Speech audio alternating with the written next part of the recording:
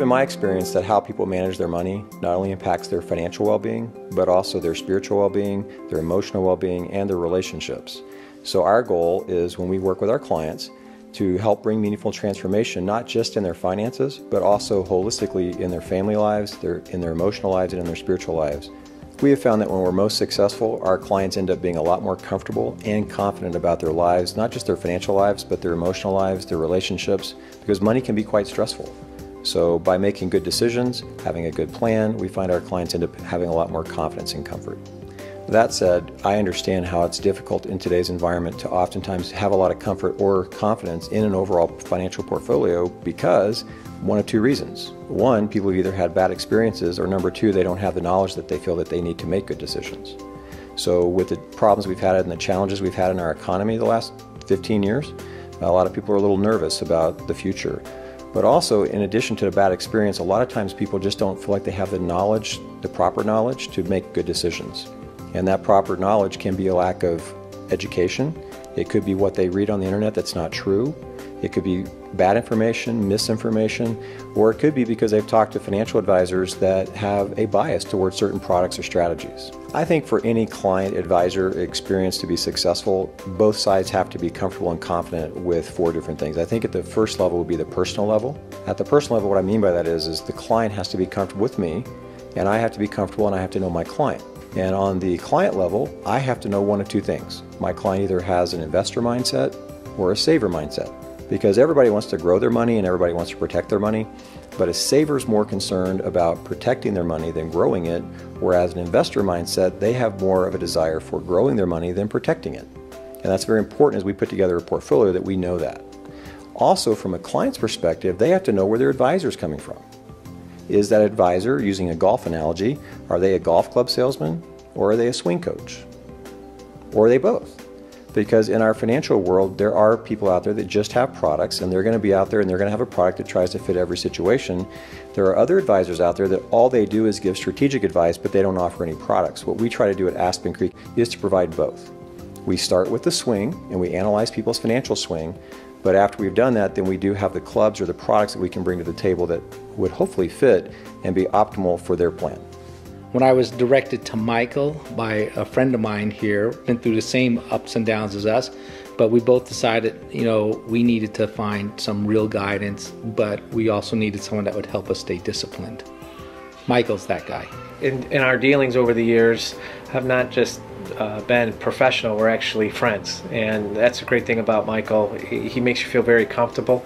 He has my family's interest in mind. Well, not only is it important for us to be comfortable with each other, it's also important that the client be comfortable with the process we take. And our process is really focused on two things. Number one, we want to educate our clients. And what's our goal? Our goal is to educate our clients to the point that they're empowered to make an informed decision. And number two, we want to coordinate because oftentimes our clients may have advi- other advisors, they may have financial advisors, attorneys, CPAs, insurance agents, but who's really coordinating that? The client. And oftentimes that's a stress that we like to take off their shoulders because we can coordinate with the client's advisors or our group of advisors, whatever makes the client more comfortable. So, in the areas that we do educate and coordinate on are the six distinct areas of financial management. So, those six areas are asset management, credit management, cash flow management, risk management, tax planning, and legal or estate planning. Now, we're not licensed and we don't give advice on everything that in all six areas, but we help coordinate that with our clients' other advisors. So we're not there to really compete, we're there to complement their other advisors, but it's important that those be coordinated. Michael is um, very good at looking at a comprehensive financial picture. He broadened my scope of uh, how I thought about finance and also allowed me to see that my money could be employed making me money in more than one place at once. I felt going through the process with Michael was very easy. Uh, it was very smooth. Since setting up the plan that we are now doing with Michael, it's been like an unbelievable burden has been lifted off of my wife and myself. We finally feel like we have the guidance. We finally feel like we have the knowledge. We finally feel like we have the power to control what is going to happen to us in the future. So, not only is it important that we be comfortable at the personal level on the process level and on the plan level, but we also need to be comfortable on the product level. And that's usually where we have the most challenge because unfortunately there is no perfect asset out there and there's no perfect portfolio because the perfect asset would be what?